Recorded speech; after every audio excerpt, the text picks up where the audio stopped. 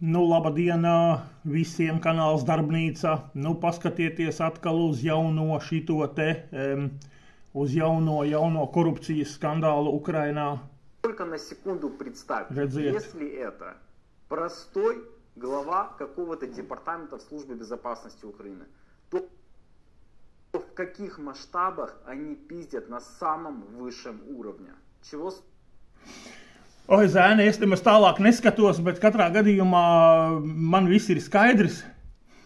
Un šis kanāls Geoleros visu laiku stāsta, un rekur uzpeldējusi jauna, tikko svaiga, burtiski šodien, rekur, kā viņš saka, slavīgi nalži Ukrainu, jā, tā tad var sakot korupcija, korupcija, zogu humanitāro, var sakot zēni, lūdzu, ja kas saprot krieviski, noskatieties šitā puiša, Es jau pirmās četras minūtes noskatījos, jau pietika, jau ja, tur atkal miljoni, miljardi villas, um, Zelenska padomnieki, sievām pieder merši, bembjis, skaistumkopšanas saloni un, oh, nu, nu, paskatieties paši, tā kā zēni, vot jums Ukraina, vot mēs latvieši, ev, a, latvieši, zin kāds man ir piedāvājums?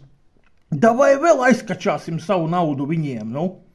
A moškā aizkačājam vēl, nu izsūcam visu Latviju, nu lai Elza Stante Bauskā, kā saka, no viņas paliek tikai ģindenis, ja? Un, un, un, un, un, un, un var sakot, lai, lai radinieki apglabā ādu. Ja, teiksim, eh, esiet, nu, lai noteikti neesiet redzējuši. Es esmu redzējis, eh, kad eh, kāds izskatās, jebkurš dzīves radījums, no kura ir nu, visas iekšas, nu, teiksim, tā, iz, iz, iz, iz Uh, nu, nezinu, iz, izbeigušās, izpujušas, es nezinu, sauciet, kā gribiet. Var sakot, tikai guļ kaulu kaudzīte un kaut kāda āda vēl smirdīga. Var, var, var sakot, nu, izdaram tā, nu, vācam, vācam, lasam, pazvanam, davai šleseram, kas mums tur ir tie aktīvisti Latvijas.